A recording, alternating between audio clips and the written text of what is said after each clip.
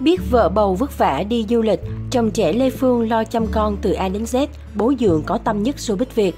Những hình ảnh chồng trẻ Trung Kiên chăm sóc con riêng của Lê Phương là bé cà pháo, khiến người hâm mộ trầm trồ. Mới đây, trên trang cá nhân của Lê Phương vừa chia sẻ loạt khoảnh khắc đáng nhớ bên gia đình và bạn bè trong chuyến đi du lịch tại Singapore.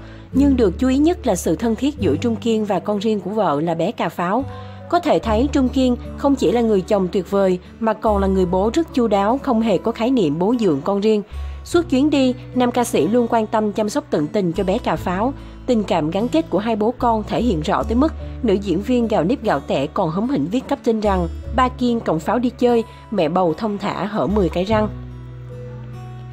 Khoảnh khắc đáng nhớ của Lê Phương bên gia đình và bạn bè trong chuyến đi du lịch tại Singapore vừa qua. Hai ba con dính nhau như Sam liên tục tạo dáng vui đùa mặc kệ ba bầu Lê Phương. Trung Kiên rất thân thiết và dành sự quan tâm cho con riêng của vợ. Trước đó, Lê Phương từng chia sẻ với truyền thông về mối quan hệ của chồng với con trai.